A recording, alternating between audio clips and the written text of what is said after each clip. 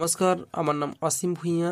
আবারও তোমাদেরকে আমার ভিডিওতে স্বাগত আজকে আমি তোমাদের মৌসুমি বায়ুর একেবারে অন্তিম পর্যায়ের যে ভিডিও, সেটা হচ্ছে মৌসুমি বায়ুর প্রত্যাবর্তনকাল সেটা আমি আজকে এই ভিডিওতে আমি আলোচনা করব।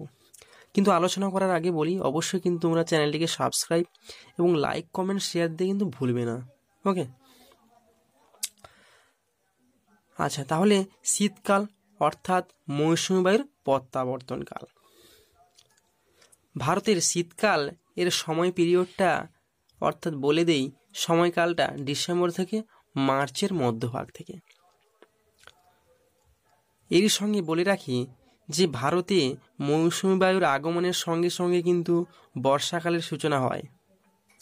অর্থাৎ পয়লা জুন থেকে ষোলোই জুলাইয়ের মধ্যে পুরো ভারত কিন্তু মৌসুমি বায়ু দখলে করে নেয়। ওকে এবং তাহলে পয়লা জুন থেকে ষোলোই জুলাই পর্যন্ত কি হয়? পুরো ভারত মৌসুমি বায়ু দখল করে নেয় এবং ভারতে বৃষ্টিপাত লক্ষ্য করা যায়। এবং এর ফলে ভারত হয়ে যায় তখন বর্ষাকাল। এই জুন থেকে জুলাইয়ের সময়কালটা মৌসুমের আগমনের সঙ্গে সঙ্গে হয়ে যায় বর্ষাকাল এবং ভারতে কিন্তু পর্যাপ্ত পরিমাণে বৃষ্টিপাত লক্ষ্য করা যায়। কিন্তু মৌসুমের প্রত্যাবর্তনের সঙ্গে সঙ্গে ভারতে হয়ে যায় শীতকাল। ওকে? সাধারণত শীতকালে হচ্ছে মৌসুমের প্রত্যাবর্তনকাল এই মৌসুমায় যখন প্রত্যাবর্তন করে, তখনই কিন্তু ভারতে যেখানে সেখানে কিন্তু বৃষ্টিপাত লক্ষ্য করা যায়। বিশেষ করে ভারতের এই যে করমণ্ডল উপকূল, এখানে কিন্তু বৃষ্টিপাত হয়। এবং প্রায়শই পরীক্ষায় পড়ে থাকে যে করমণ্ডল উপকূলে বছরে দুবার বৃষ্টিপাত হয় কেন? অর্থাৎ মৌসুমবায়ুর আগমনের সময় যে বঙ্গোপসাগরের শাখা, কিছুটা এখানে ধাক্কা খেয়ে বৃষ্টিপাত হয় এবং মৌসুমী বায়ু যখন প্রত্যাবর্তন করে, আবারও বৃষ্টিপাত হয়। অর্থাৎ শীতকালে এই করমণ্ডল উপকূলে বৃষ্টিপাত হয়। বছরে কিন্তু দুবার বৃষ্টিপাত হয়ে থাকে এখানে। তাহলে শীতকালে, মৌসুমের প্রত্যাবর্তনকালে ভারতে বৃষ্টিপাত হয়ে থাকে মূলত দুটি কারণে। একটি হচ্ছে উত্তর পূর্ব মৌসুমী বায়ু প্রবাহের কারণে, আর একটি রয়েছে পশ্চিমা জেড বায়ু। ওকে, এই দুটি বায়ু প্রবাহের কারণে কিন্তু শীতকালে ভারতে বৃষ্টিপাত হয়ে থাকে। আর একটা তোমাদের একটু বুঝিয়ে দেই জিনিসটা, কি যে শীতকালটা কখন হয় এবং গ্রীষ্মকালটা কখন হয়? তাহলে এটা যদি পৃথিবী হয়, মাঝখান দিয়ে গেছে নিরক্ষরেখা, নিরক্ষরেখার উত্তরে উত্তর গোলার্ধ, নিরক্ষরেখার দক্ষিণে দক্ষিণ গোলার্ধ। এবং এই আমরা জানি কি, এই নিরক্ষরেখার সময়, নিরক্ষরেখা বরাবর একুশে মার্চ আর তেইশে সেপ্টেম্বর সূর্য লম্বভাবে কিরণ দিয়ে থাকে। আর একুশে মার্চের পর সূর্য ক্রমশ উত্তরে সরতে শুরু করে এবং একুশে জুন সূর্য কর্কটক্রান্তি রেখার উপর লম্বভাবে কিরণ দেয়। এর মান সাড়ে তেইশ ডিগ্রি। এবং ভারত এই কর্কটক্রান্তি রেখার উপর অবস্থান করে আছে আর তেইশে সেপ্টেম্বরের পর সূর্য ক্রমশ দক্ষিণে সরতে শুরু করে এবং বাইশে ডিসেম্বর মকরক্রান্তি রেখার উপর লম্বভাবে কিরণ দেয়। তাহলে সূর্য যখন নিরক্ষরেখা থেকে যখন উত্তরে সরে আসে তখন কিন্তু উত্তর গোলার্ধে গ্রীষ্মকাল এবং এখানে কিন্তু সূর্য থাকে না, অর্থাৎ সেই সময় কিন্তু শীতকাল। তাহলে একুশে মার্চের পর যখন একুশে জুন, এটা হচ্ছে গ্রীষ্মকালের সূচনা হয়।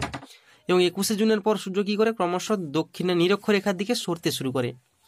তখন এই সময় কিন্তু, ভারতে কিন্তু শরৎকাল। ওকে? বা বলতে পারা যায় যে এই সময় কিন্তু উষ্ণতা ধীরে ধীরে কমতে শুরু করে। এবং সূর্য যখন তেইশে সেপ্টেম্বর আবার নিরক্ষরেখার উপর লম্বভাবে কিরণ দেয় তেইশে সেপ্টেম্বরের পর যখন আবার ধীরে ধীরে যখন মকরকান্তি রেখার থেকে সরে আসে তখন কিন্তু ভারতের শীতকালের সূচনা হয়। অর্থাৎ একুশে জুন, একুশে মার্চ হচ্ছে নিরক্ষরেখা লম্বভাবে কিরণ দেয়, একুশে জুন, তেইশে সেপ্টেম্বরে আবার নিরক্ষরেখার উপর লম্বভাবে কিরণ দেয়, এবং বাইশে ডিসেম্বর মকরকান্তি রেখার উপর লম্বভাবে কিরণ দেয়। তাহলে সূর্য যখন সরে আসে, তখন সেই গোলার্ধে কিন্তু গ্রীষ্মকাল। অর্থাৎ নিরক্ষরেখা থেকে যখন উত্তর দিকে সরতে শুরু করে তখন কিন্তু গ্রীষ্মকাল। আবার কর্কটক্রান্তি রেখা থেকে যখন নিরক্ষর রেখাতে সরতে শুরু হয়, তখন কিন্তু শরৎকাল। ওকে, তাহলে গ্রীষ্মকাল আর শীতকাল ব্যাপারটা একটু বুঝতে পারা গেছে আশা করি? আশা করি তোমাদের এই যে ছবিটা, আশা করি কিছুটা হলেও তোমাদের বোধগম্য হয়েছে। এবার মেন টপিকে ফিরে আসা যাক।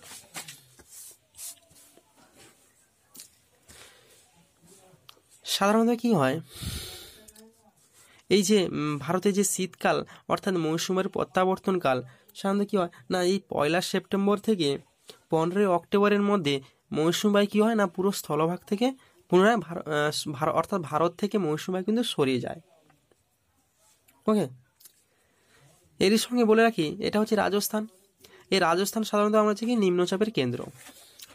মৌসুমী বায়ু কিন্তু এই রাজস্থানে সব থেকে দেরিতে পৌঁছায়, কিন্তু সব থেকে প্রথমে কিন্তু এখান থেকে মৌসুমী বায়ু প্রত্যাবর্তন করতে শুরু করে।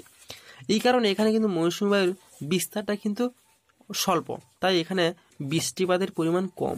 অর্থাৎ প্রায় গড় বলতে গেলে পঞ্চাশ সেন্টিমিটারের কাছাকাছি বৃষ্টিপাত লক্ষ্য করা যায়।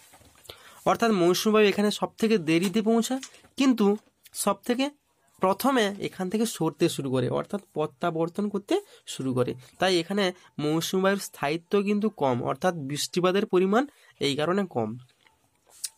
তাহলে শীতকালে যে মৌসুমী বায়ুর প্রভাবে বৃষ্টিপাত হয়, প্রথমে রয়েছে পশ্চিমা জেট বায়ু।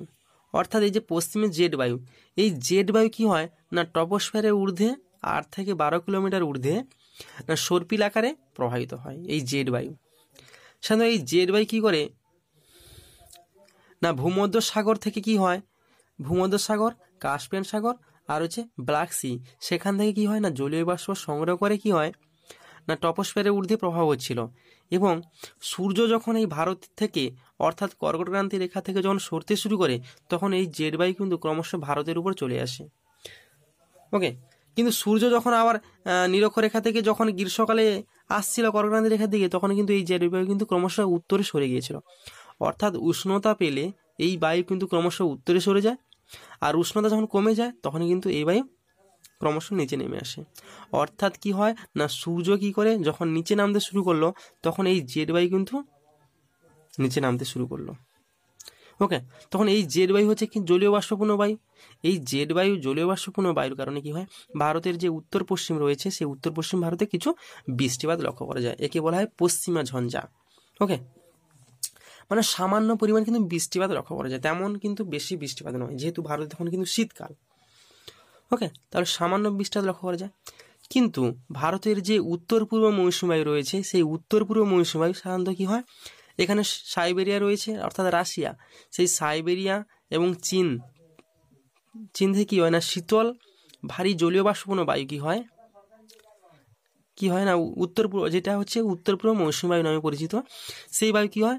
না, ভারতের এখানে হিমালয় পোর্শন রয়েছে, সেই হিমালয় ধাক্কা খেয়ে যায়। ফলে হিমালয় সাধারণত আমরা জানি কি, প্রায় আট হাজার মিটার উঁচু মানে এখানে যে পর্বতগুলি রয়ে, পর্বত শৃঙ্গগুলি রয়েছে, প্রায় আট হাজার মিটার, অর্থাৎ অনেক উঁচু। তাহলে এই হিমালয় ধাক্কা খেয়ে যায়, এবং কি হয়, যেহেতু হিমালয় পোর্শন অনেকটা উঁচু, তাহলে এখানে কিন্তু বৃষ্টিপাত হবে না। এই জলীয় বাষ্পপূর্ণ বায়ু ধাক্কা খেয়ে কিন্তু এখানে বৃষ্টিপাত হবে না। ওকে, তাহলে এখানে কি হবে না, তুষারপাত হয়। ওকে, তাহলে এখানে কিন্তু তুষারপাত লক্ষ্য করা যায়। কিন্তু ভারতের এখানে রয়েছে অরুণাচল প্রদেশ। এবং এখানে যে বিভিন্ন নদী উপত্যকা রয়েছে, যেমন ব্রহ্মপুত্র নদীর যে গ্যাপ রয়েছে, অর্থাৎ নদী যেখানে প্রবেশ করে, সেখানে কিন্তু গ্যাপের সৃষ্টি করে। আর এই হিমালয় পোর্শন থেকে অনেক নদীর সৃষ্টি হয়েছে, অর্থাৎ বিভিন্ন গ্যাপের সৃষ্টি করেছে। সেই গ্যাপ দিয়ে কি করে, অর্থাৎ শূন্যস্থান দিয়ে কি করে এই উত্তর পূর্ব মৌসুমে প্রবেশ করে ভারতে সামান্য বৃষ্টিপাত লক্ষ্য করা যায়। কিন্তু এখানে কি হয়? এখানে তো অরুণাচল প্রদেশ রয়েছে। এখানে হচ্ছে শেষ হিমালয় পর্বত। এরপর কি হয়? না এই শূন্যস্থান দিয়ে কি হয় না, উত্তর পূর্ব মৌসুমী বায়ু কি হয়? না, প্রবেশ করে এবং বঙ্গোপসাগর দিয়ে উপর দিয়ে যাওয়ার সময় কি হয়? না, জলীয় বাষ্প সংগ্রহ করে এখানে কি হয়? একটা ঘূর্ণাবর্তের সৃষ্টি করে। ওকে এবং এই জলীয় বাষ্পপূর্ণ বায়ু যাওয়ার সময় কি হয়? না করমণ্ডল উপকূলে ধাক্কা খেয়ে যায়। তখন কিন্তু এখানে পর্যাপ্ত পরিমাণে বৃষ্টিপাত লক্ষ্য করা যায়। এবং এই করমণ্ডল উপকূলে বছরে দুবার বৃষ্টিপাত লক্ষ্য করা যায়। একটা হচ্ছে মৌসুমের আসার সময় আর হচ্ছে মৌসুমে যাবার সময়, অর্থাৎ প্রত্যাবর্তনের সময় এই করমণ্ডল উপকূলে বৃষ্টিপাত লক্ষ্য করা যায়। ওকে। সাধারণত কী হয়? না, এই যে জেট বায়ু আছে। জেট বায়ু আর হচ্ছে উত্তর পূর্ব মৌসুমের প্রভাবে ভারতে কিন্তু বৃষ্টিপাত লক্ষ্য করা যায়। সাধারণত কী হয়? না, পয়লা সেপ্টেম্বরের কাছাকাছি রাজস্থানে হালকা বৃষ্টিপাত হয়ে থাকে। রাজস্থান এবং এখানে যে উত্তরপ্রদেশ রয়েছে, এখানে পশ্চিমা জেটবায়ুর ভাবে বৃষ্টিপাত হয়। এবং পনেরো সেপ্টেম্বরে নাগাদ এখানে বৃষ্টিপাত লক্ষ্য করা যায়। এই পোর্শন বরাবর এখানে পশ্চিমবঙ্গ, বিহার, উড়িষ্যা পশ্চিমবঙ্গ, মধ্যপ্রদেশ, গুজরাট এবং পঁচিশ সেপ্টেম্বর হচ্ছে মহারাষ্ট্র এবং পশ্চিমবঙ্গ এখানে বৃষ্টিপাত হয় এবং পনেরোই অক্টোবরের কাছাকাছি এই পোর্শন বরাবর বৃষ্টিপাত লক্ষ্য করা যায়। অর্থাৎ কর্ণাটক এবং এখানে উড়িষ্যা, অন্ধ্রপ্রদেশ যে রয়েছে, এখানে বৃষ্টিপাত লক্ষ্য করা যায় এবং পয়লা নভেম্বর হচ্ছে কি এখানে রয়েছে অন্ধ্রপ্রদেশ এবং হচ্ছে অন্ধ্রপ্রদেশ এবং কর্ণাটক। আর পাঁচে পনেরো নভেম্বর কি হয়? না, এখানে হচ্ছে কেরালার মালাবার উপকূল এবং কর্ণাটকের করমণ্ডল উপকূলে। এখানে বৃষ্টিপাত লক্ষ্য করা যায়। ওকে, তাহলে শীতকালে সাধারণত কি হয়? না দুটি কারণে বৃষ্টিপাত লক্ষ্য করা যায়। একটা হচ্ছে উত্তর পূর্ব মৌসুমে, আর একটা হচ্ছে জেড বায়ু ওকে তাহলে আশা করি তোমাদের মৌসুমী বায়ু সংক্রান্ত যে ভিডিওটি কোনো রকম বুঝতে অসুবিধা হয়নি, আশা করি। এবং এই যে মৌসুমী বায়ু সংক্রান্ত যে ভিডিওগুলি রয়েছে, তোমরা কিন্তু ভালো করে মনোযোগ সহকারে দেখবে ওকে যেহেতু এরপরে আমি কিন্তু ওয়েদার ম্যাপ যে ক্লাস টুয়েলভের অর্থাৎ বা কলেজের যে ওয়েদার ম্যাপ রয়েছে, সেই ওয়েদার ম্যাপ কিন্তু আমি আলোচনা করব। সেটা আলোচনা করার আগে কিন্তু তোমাদের কিন্তু এই যে মৌসুমী বায়ুর যে ভিডিওগুলি রয়েছে সেগুলো কিন্তু ভালো করে মনোযোগ সহকারে দেখা কিন্তু উচিত তোমাদের। ওকে অবশ্যই কিন্তু চ্যানেলটিকে সাবস্ক্রাইব করবে এবং লাইক কমেন্ট শেয়ার দিতে কিন্তু ভুলবে না। Thank you